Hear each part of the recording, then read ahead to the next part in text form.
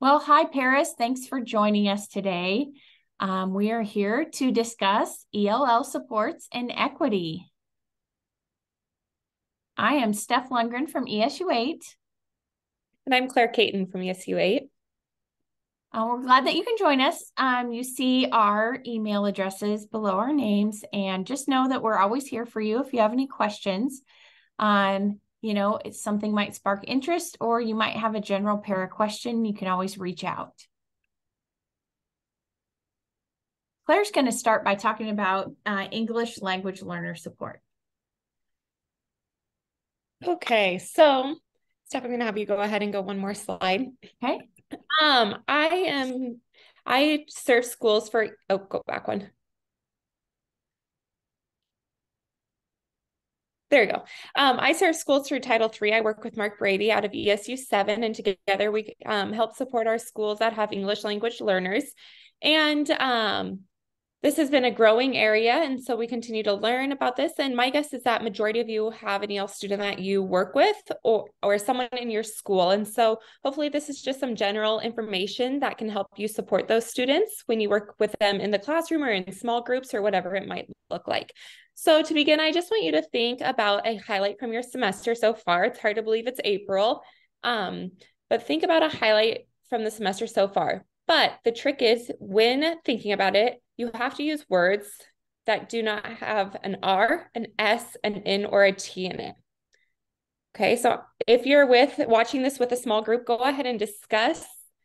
Or um, if you're by yourself, you could write some things down. But the highlight from your semester so far, you can go ahead and pause this recording and jot those down. Should I go on? Okay, so you probably found it kind of challenging to come up with words that don't have an RS and or T in it when describing your highlight from the semester. Well, that's just like English language learners as well. A lot of times they have stuff they want to say, um, to say with the in front of the class or to their teacher, to their peers, but they just can't find the words to say it. And so again, just like you maybe struggled a little to come up with some words, they struggle to come up with those conversational words as well or when asking questions. Okay, next slide. Ryan.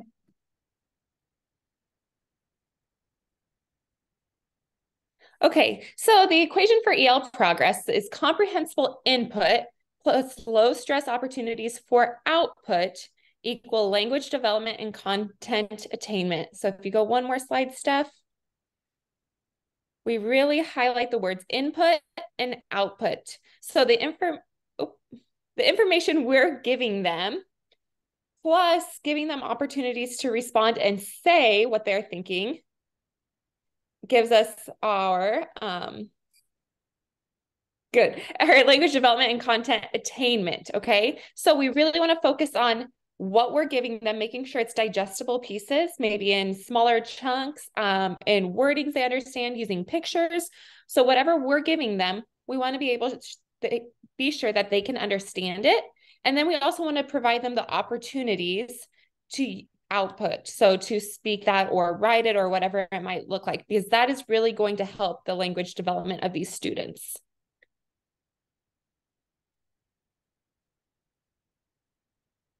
So this is really important. Being an English learner does not exempt a student from participating in your class or in your small group. This is something to remember. A lot of times we say are quick to say, um, get out Google Translator.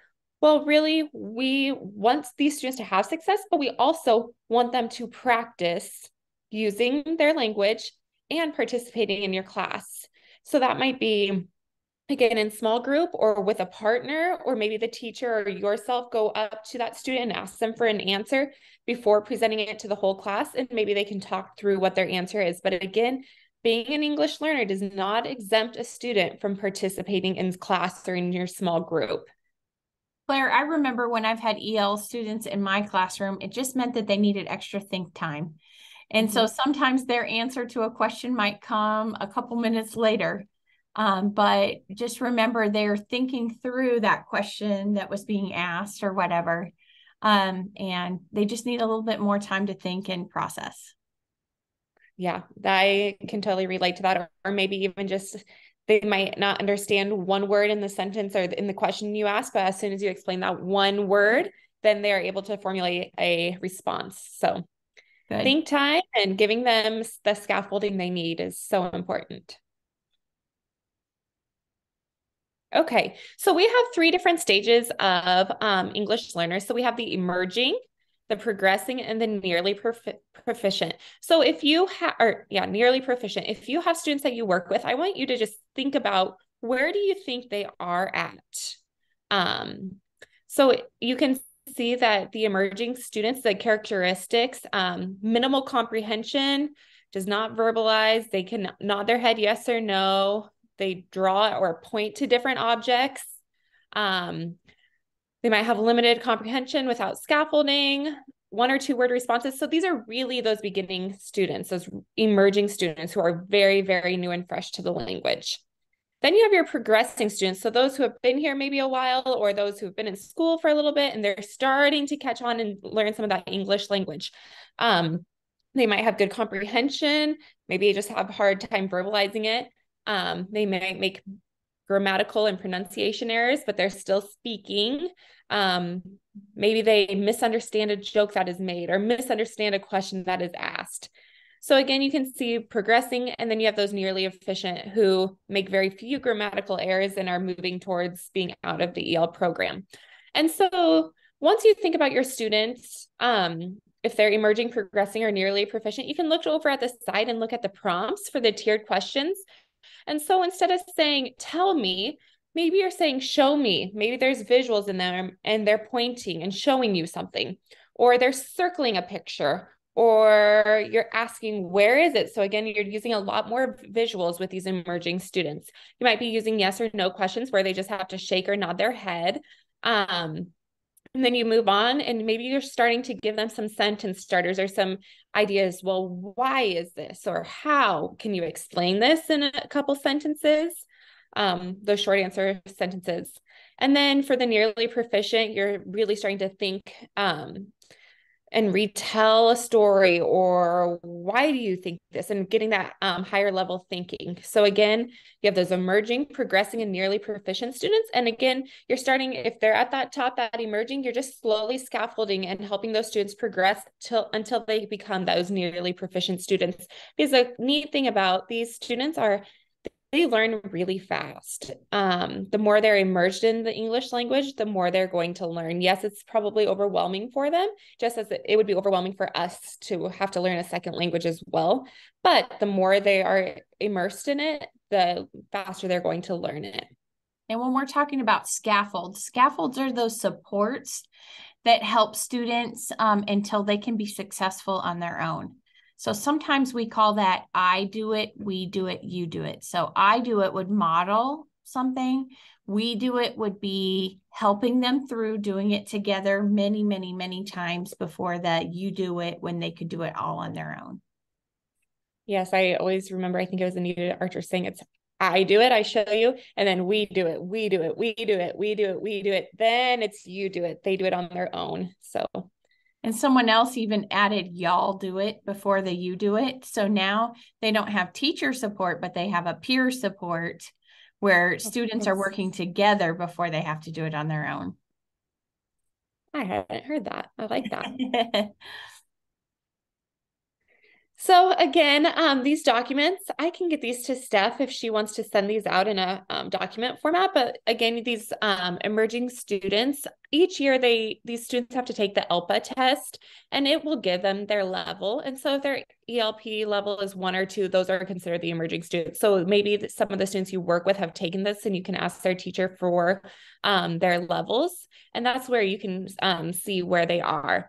But again, we're um, different reading supports. So using visuals, responding con- to questions non-verbally, pointing, drawing. Again, these are just more um, laid out steps that you can take for students of each level. So these emerging students are those ones who are going to need a lot, a lot of support and a lot of that. We do it, we do it, we do it, we do it. Um, using graphic organizers, um, using a bilingual dictionary for one or two words. Again, you're still encouraging them to use English, but they might not know if there's a math problem, a story problem, and they're talking. We'll see an example later in our video, but it, you might be talking about a Steph. I think it was you always who t- talks about a student who didn't know what a lamp was. Mm-hmm. Yeah. Is that you? Yeah. They don't know what a lamp is. So you might have to look it up in the dictionary so they can get a better understanding, or you can point to it. So just those one or two words they might need that help with. And so using color coding, um, yeah, there's just lots of different ideas for those emerging students that you can do. I like that build background language too. Um, and thinking about the things that they would need to know and have that kind of vocabulary lesson before um, that could really help them. And maybe if you're working with these students um, in small groups, maybe you're pre-teaching a lesson and building that background knowledge. I, I'm a big advocate for those that pre-teaching, especially with these students. So they might hear the lesson with you in a really small group before they have it in their whole group later. And, you know, paras, you guys are one on one with kids, and you can kind of maybe see sometimes when there's confusion um, and maybe the teachers with the whole group and um, you know doesn't isn't right there to you know whisper that little bit of support or help in the ear um, so we teachers really rely on paras i think in these instances to help out i'm not sure what we would do without you guys mm-hmm. so then we have the progressing students so we have the emerging now we're moving on to those progressing maybe they've been here a couple years or maybe they um, have been in a different school and have started learning the English language. And so, again, you can take a look at this um, different reading supports, writing supports, math supports. Um, so, providing sentence starters. Um, that's a big one with this. Providing them multiple opportunities to read. You know, maybe it's just small bits they're reading at a time because you don't want to exhaust them, but they read it, then you read some, and then you give them the opportunity again to read more. Um, again, that building background knowledge appears, sentence starters, anchor charts, sentence frames. Um, so sentence frames would be, um, we could give an example, Claire, of sentence frames.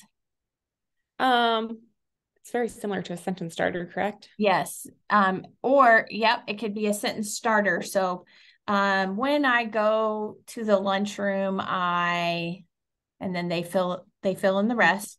Um, or frames could also be where um, you even talk about the who, what, what where, where, when, um, kind of thing, so that it helps them build a sentence. And sometimes that's even written on like sentence strips.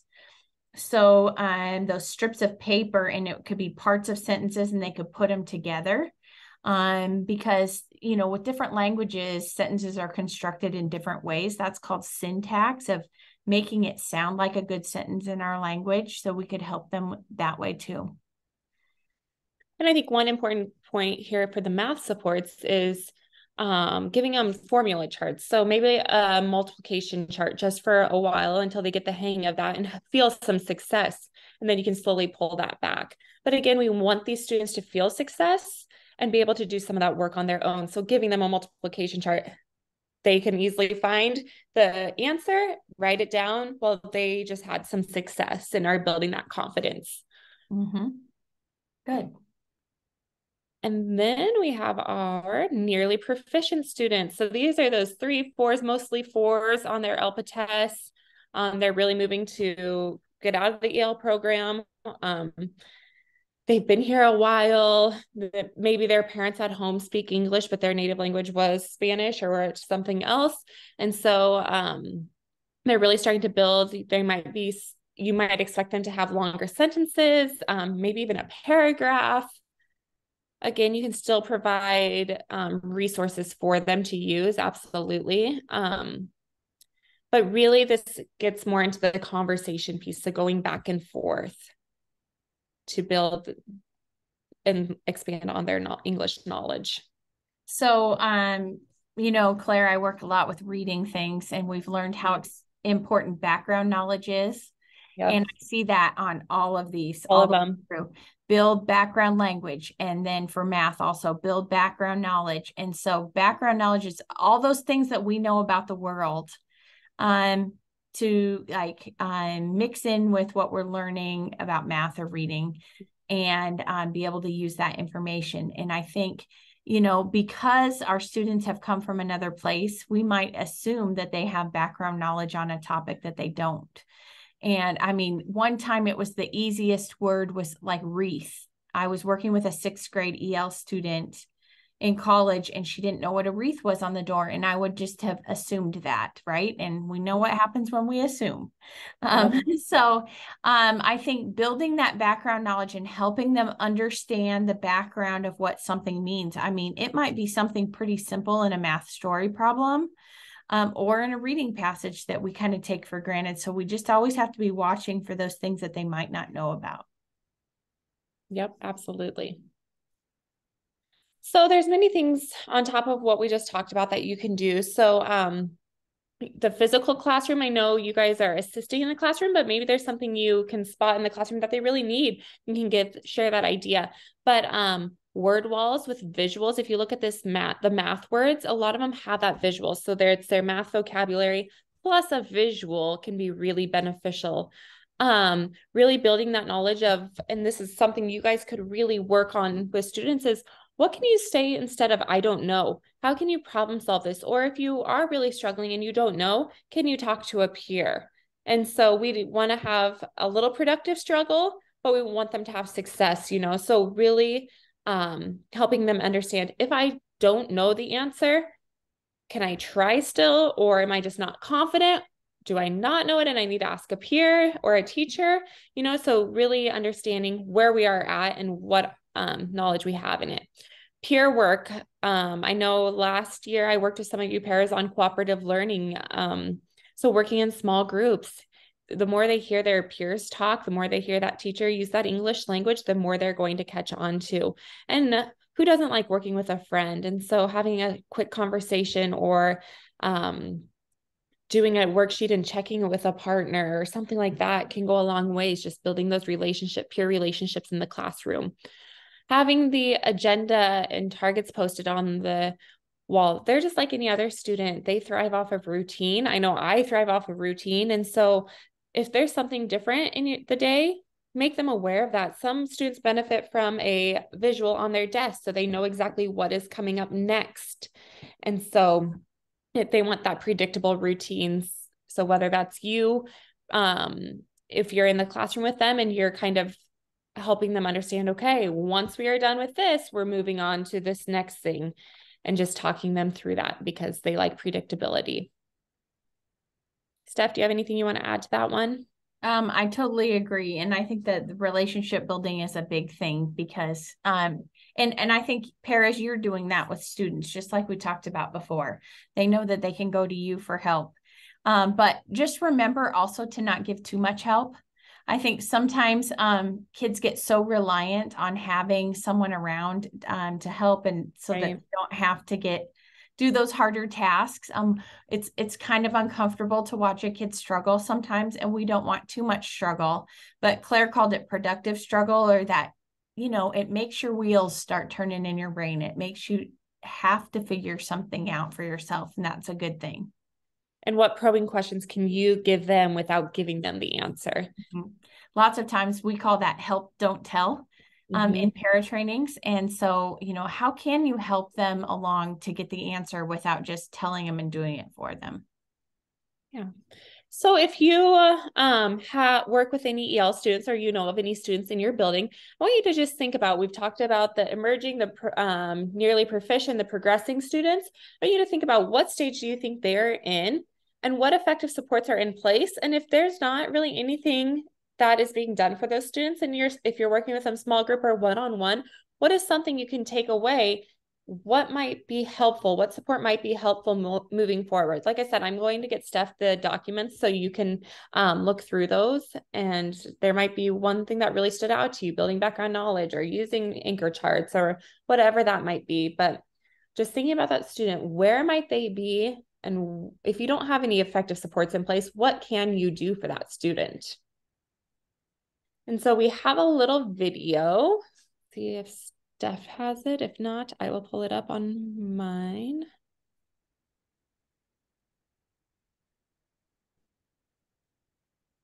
Here it goes, I think. We'll probably get a get an ad. Oh, maybe not. My friend knew that I was having such a terrible week and she sent me this box, warm wishes. All week this week and next week. The tests are gonna be hard, but that's all right because we're gonna try really hard. Isn't that right, Cameron? Yes, Miss Peters. Okay, great. Everyone listen up. So we're gonna want to work all week get ours from the answer and the information in the story, okay? We're gonna go ahead and factual test and try this actus te- test. Oh, test your test. We're gonna create, you gotta read. First on poem page three. ¿Qué puso? ¿A poco, ¿A poco va a empezar el examen? No, es una práctica.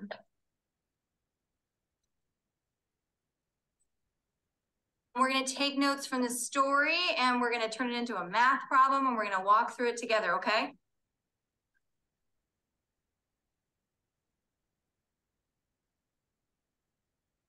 So The boy ran three blocks. So everyone write three blocks. How long did it take him to run three blocks? Michelle? Very good, six minutes. All right, so then we take three blocks and six minutes, ¿Por qué el right? niño corre con los bloques? ¿Qué? Sí, ¿por qué el niño corre con los bloques? No, Because corre tres calles. one to ask us, how long will it take him to run twenty blocks? What do we do? How many minutes is that per block? Eight minutes. Try and remember to raise your hand if you want to answer, okay? No, it's not eight minutes. Michelle? Eighteen minutes? Nope, not eighteen minutes. Yes, Enrique? Forty? Forty, yeah, very good. How'd you get forty? I don't know. You don't know? Well, 40 is the right answer. How did you get it? I forgot. You forgot. Okay. Does anyone know how we get forty?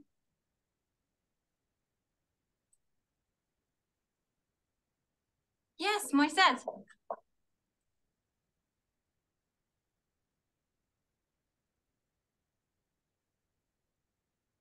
Forty?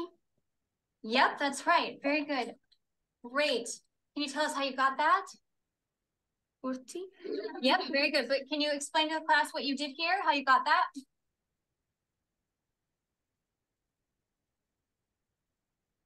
Forty? Okay, all right, you guys. Joe, you want to lose your recess? No. Okay, then.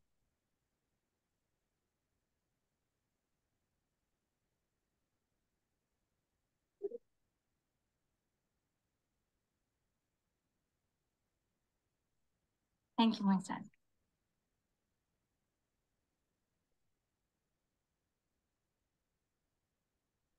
Can you help me, please?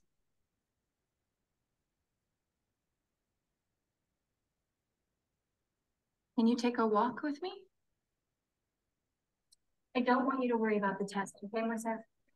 Sí, estoy preocupada sobre el examen. La directora Rosa dijo que tenemos que hacer. Just try your best, okay? Do you understand? Not importante. Sí, sí es importante.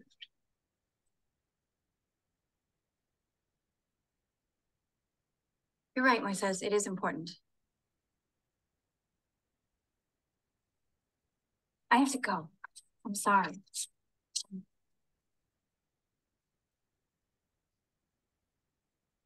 Okay, Steph, I'll have you stop the video there. Mm.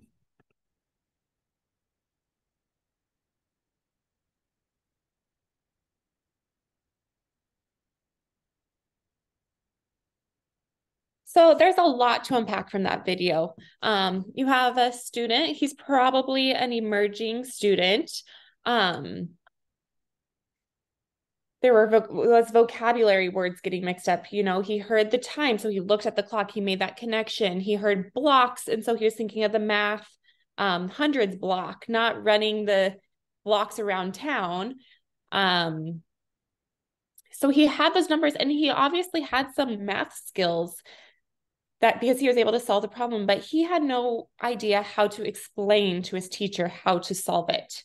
You know, so when you think about that, he was really struggling, then classmates started laughing. So instead of that teacher just asking him to explain, you know, maybe she goes up to the board and writes down that work and talks through how he got the correct answer and gives him some praise for getting that correct answer because we want him to feel some success. And as that video showed, things were just jumbled in his head. He didn't know how to get speak it. Um, but deep down, he did have some of those math skills. And also at the end, when she was telling him that that test wasn't important, well, a lot of these students really want to do well. And so us just saying, oh, it's not important, you're fine. Well, no, that's, they want to do well too. And so we have to help them find that success. So there's a lot to unpack from that video. Um, I'm sure you guys took away something other than that. Steph, what was your the big thing you took away from that video? Well, I always think, um, and I always told my EL students that I admired them so much because I can't imagine what would happen to me if I had to go to a new country and speak a different language and listen to it and try to learn that language and and learn other subjects through that language. Um, and so I really admire all those students who um, persist all day long, all week long, all year long, um, and um, you know try to keep up and don't give up on it too. Right. Yes. So, as we wrap up with this portion, I just want, again, if you work with a EL student, um, maybe you don't, maybe you work with another student, it doesn't matter. Something that affirmed my practice was so, what is something that you're already doing that was we maybe touched on today, and you're like, yep, that is something I should continue doing? Or if not, what is something you can try this week? What is something that you can take away from today and implement in with your small groups or with a student tomorrow in school? Whether that's a sentence starter, whether that's some peer chat, um, whatever that might look like. So go ahead and think about that. And I am going to turn it back over to Steph. And I think on the next slide, it has my contact information if you have any questions, or you can reach out to Steph and she can put you in touch with me. So, again, thank you for having me today. And Claire Caton, and if you need anything, let me know. Thank you so much for joining us, Claire. Um, it's nice to enlist the help of all of our ESU staff um, in working with paras. So, um, paras, just know Claire's available, and um, so am I if you have any questions. We're going to delve in in another topic to pair well with um, thinking about EL supports is equity another E, right? Um, so embracing equity in our schools, what does that look like? Um, that's been um, kind of a catchphrase lately. We've heard a lot about um, improving the equity in our schools. And so what does that exactly mean? So um, uh, one quote says, it, meeting students where they are as they are. Um, and so sorry, their pictures are covering that up a little bit, but meeting students where they are as they are is um, like that mindset that we can have as we think about equity. Um, equity is a reflection of an educator's humanity toward the students he or she serves. Um, how are we serving that student? Um, how are we making sure that they feel valued and appreciated? And how are we meeting the needs of all those kids that we work with? So oftentimes we see this graphic, um, and um, equality would mean that everyone receives the same support. So no matter what you you know, mat- no matter what, you all get a box, right? Was that box enough for the um, child in the purple? No, because they can't see. Was it a little bit too much for the child in the blue? Well, yes, because that that one is is up very high and it seems to be just right for the child in the red. But when we're talking about equity, it's that um, students receive the support they need when they need it. So in this case, the child in the blue didn't need the box to stand on. And the one in the red had their just right support of one box, but the child in the purple needed two boxes, needed a little extra help, extra support. And um, where we really want to go with our society is to get to that liberation where there is no fence blocking their view, um, where everyone has the access that they need, and um, we don't need um, to have um, that fence in the way.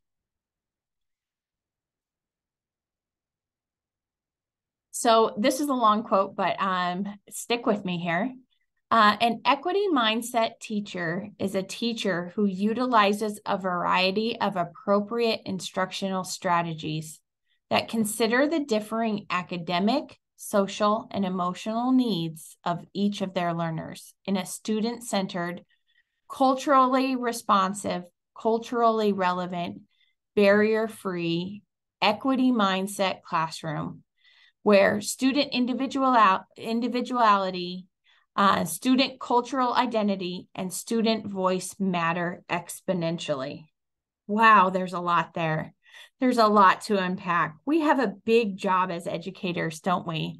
We have so much to consider when we think about that whole child and everything that they are and making them feel valued and um, like they matter and um, that we value all the parts of them, including their culture. Um, I love that barrier free equity mindset classroom. We're going to remove those barriers so that everyone has access to what they need. So, one step is um, thinking about student individuality. Are students visible or invisible? So, many students are physically present in the classroom, but don't have presence because they don't feel seen educators must ask themselves what they are doing to prove to individual students that they care about them and are committed to their development. I think we all would say we care about our students, but are we thinking about that new one who might be a little bit different than someone else or that shy one that doesn't speak up?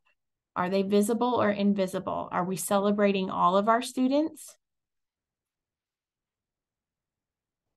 Two, uh, student cultural identity. Is it accentuated or denied?